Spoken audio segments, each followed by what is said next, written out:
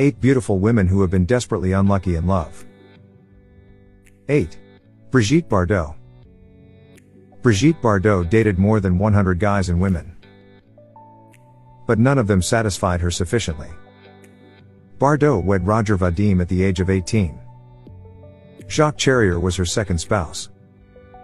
Bardot and Charrier had a son Nicholas. She punched herself in an attempt to end the pregnancy. It resulted into a lawsuit, and Charrier raised Nicholas by herself. In his wedding, Nicholas didn't even invite his mother. For 10 years, they didn't see each other. Gunter Sachs, Bardot's third spouse, took his own life in 2011. She then became an activist for animal rights and took in several pets. Now Bardot is living with her fourth husband, Bernard d'Ormale. 7. Angelina Jolie. Jolie has only been in around 5 serious relationships but they were all unsuccessful. Jolie and Jonny Lee Miller met while working on the Hackers set in 1995.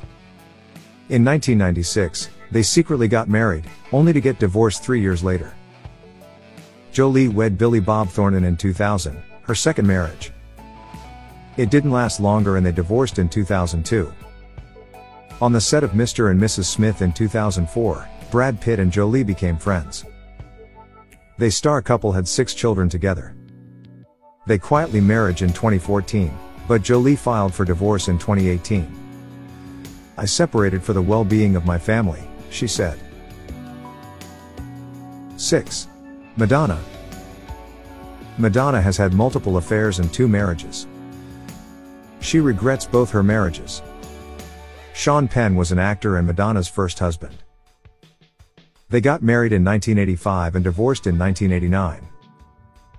He was constantly ridiculously envious of her. Madonna's second husband was director Guy Ritchie. In 2000, they tied the knot and gave birth to two kids.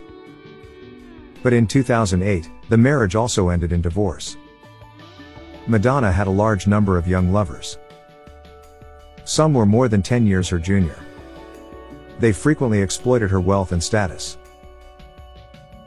5. Isabelle Adjani. The French actress is alone at 68. Bruno Nuytten and Adjani had a son in 1979.